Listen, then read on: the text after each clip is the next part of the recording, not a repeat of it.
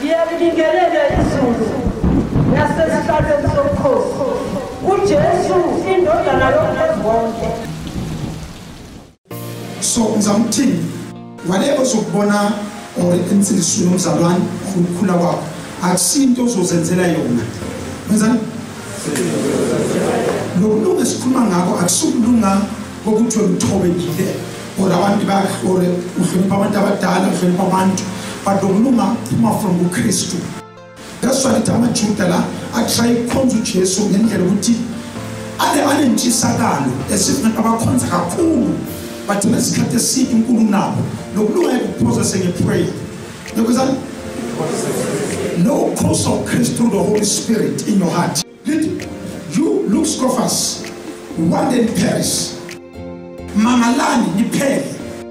Yes, for i'm going to do something in your days that you never believe ngalesiswane into enzeke eduduza nge-emmanuel iyaqala ukwenzeka since yabakhona unkulunkulu batshela ukuthi manje le besi yafeza ukuthi nina kwenza into ezange niyibone since nazala nabakhona since ningabafundisi since ningabazalwane ningabazali nge-age kwafa abantu abaningi omzabalaso bantu ngenza into ezange niyibone yile niyibone emanuel ngisazokonokukhulu senzeka in his ministry anyone ofuna ukutshentsha kumele abheke lo utshentsha abantu bonke is christ bayekela yonke idoti because ufuna wena awufuna ukufa awufuna ukuba ne-aids awufuna ukuba ne-cancer nanani uzoba lezinto noma ungazekele uzoba nazo ngobekele ngomthetho but not ngokristu abantu ukuze baphile batshentshe kumele bekele izinto ngokristu Somebody change, I change, I will change. I will change in abandi. I will change in nawe.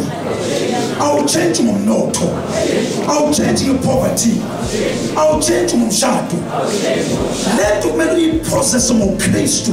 The righteous person the Bible says we are standing right with God through Jesus Christ. So many change among change. Why is it this is born. That's our Pharisees, I'm a disciple, Jesus. Hey, our Pharisees are cool again. bathi wena bakhulile ngendlela okhuluma ngakhona kwathi yonke into engatshalanga ngubaba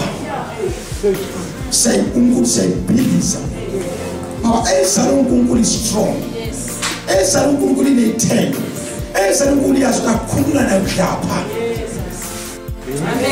phezo thiwa halleluya and useze lifeyila ungatshintsheli abantu ungatshintsheli umshado ungatshentsheli ifamily ngwatshentsheli khampani ngwatshentsheli ubani bani tshentsha wena kuwe don't like yourself iba faithful kuwe tshentsha kuwe kuthi mina yilo muntu yakho umuntu afellowship nawo ingungasifaithful kuwe possess righteousness through jesus christ